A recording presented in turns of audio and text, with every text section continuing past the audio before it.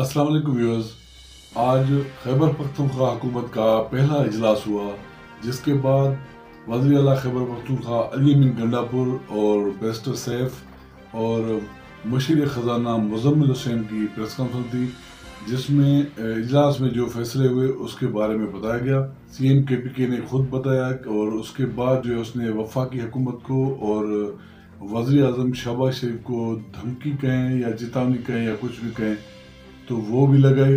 और दूसरी तरफ़ उसने जो फैसला किया, आज ताज़ा उसने बताया कि सरकारी अफसरान और जो सबका अफसरान है या वजी अला या किसी भी अहदे पर रहें, उनको जो जो मराहत मिलती हैं, वो सारी ख़त्म करने का फैसला किया उसने। तो कोई बादशाह नहीं है कि वो अवाम तकलीफ़ में हो और ये रिटायरमेंट के बाद या अहदे से ख़त्म हो जाए, उसके बाद भी ये मज़े लेते रहें और उसका खमियाजा जो है अवाम भुगते तो वो भी उसने ख़त्म कर दिया। उसके बाद जो बिजली, उसने कहा, मैं बिजली अगर सस्ती देता हूँ तो मुझे बिजली फिर सस्ती मिलनी चाहिए। मुझे क्यों महँगी मिले? मैं क्यों महँगी लूँ? तो उसमें मैं कहूँगा कि मुझे आधे आधे जो रेट पे बिजली मिले और गैस भी उसी तरह ही। तो ये मेरा हक है, मेरी आवाम का हक है। मेरी आवाम को नहीं मिलेगा तो मैं नहीं छोड़ूँगा किसी सूरत भी। तो मैं खामोश नहीं बैठूँगा। मैं आवाम के हकूक़ के लिए लड़ता रहूँगा हर तरह से, हर जगह पे। और जिस तरह इलेक्शन में धांधली हुई, उसके लिए भी हम लड़ते रहेंगे। तो अली में गणापुर से सवाल किया गया कि क्या आप वजी अजम के साथ जो वफा के साथ लड़ाई की मूड में उसने कहा कोई लड़ाई नहीं, अपना हक लेंगे तो अपना हक लेना हमारा हक है, वो हम ज़रूर लेंगे। अवाम ने हमें मैंडेट दिया है, इमरान खान को मैंडेट दिया है।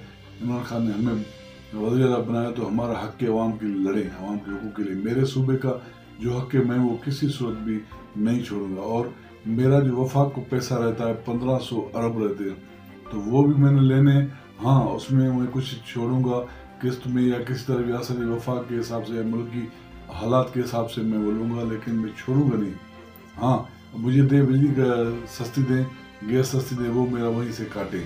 इस तरह की उसने बातें की और सारे अफसरान को और हर तरह से जो है उनको ऐसी तड़ी भी लगाई, धमकी भी लगाई और दूसरी तरफ़ उसने कहा कि, सवाल किया गया कि मरीम नवाज़ ने जो है वो तीन तीन हज़ार के थैले दिए हैं रमज़ान पैकेज के लिए।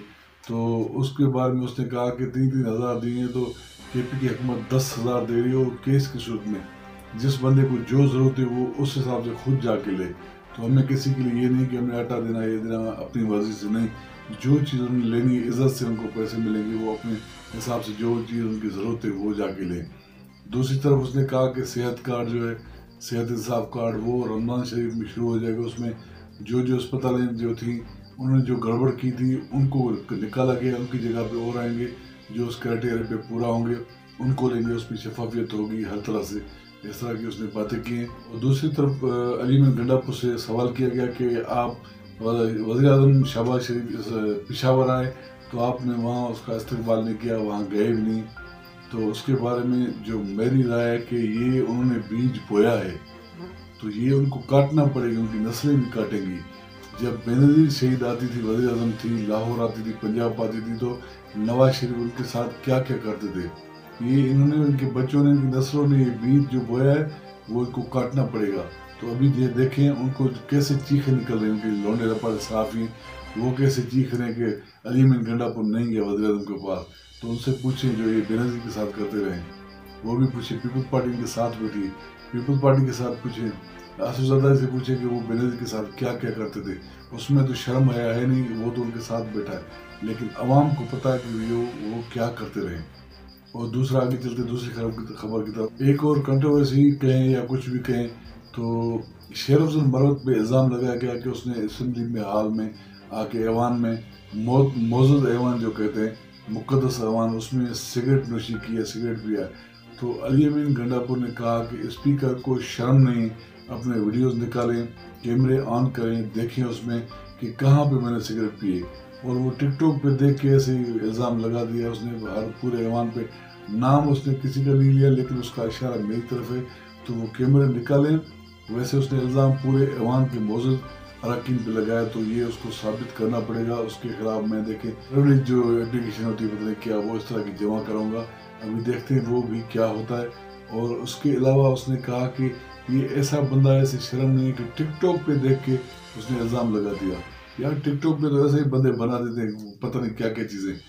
और दूसरा उन्होंने कहा कि आपके साथ में लोग तस्वीर लेते हैं, उनको जेलसी होती है। तो जेलसी उनको तो होगी, उनको जो बर्नर लगाना चाहिए। तरह की उसने बात की तो ये देखें, लोग किस तरह और तस्वीरें खींच रही है मोहब्बत ये खान की वजह से मोहब्बत है। इस तरह के हालात हैं। अभी अपोजिशन की हालत देखें वहाँ पंजाब में क्या करी मरीम नवाज़ एक थैला इस तरफ़ एक थैला इस तरफ़ आटे का रख के वो बैठी प्रेस कॉन्फ्रेंस कर रही है। उस पर उस, उस गंजू की तस्वीर लगी हुई। ये इनका आटा बेचना अभी इसमें भी इनकी करप्शन देखना ये वाजे होगी वो बाहर निकलेंगी इस तरह की बातें। अब सबको पता होना चाहिए ये सारी चीज़ें निकलेंगी जिस तरह वो स्कूल में गई गल तो वहाँ उसके साथ जो हुआ वो भी सबको पता है। इस तरह के हालात उनके बन गए। तो ये थी आज की खबरें। वीडियो पसंद आया तो वीडियो को लाइक और शेयर ज़रूर भी देगा और अगर चैनल पर हैं तो प्लीज़ चैनल को सब्सक्राइब करें शुक्रिया अल्लाह हाफिज़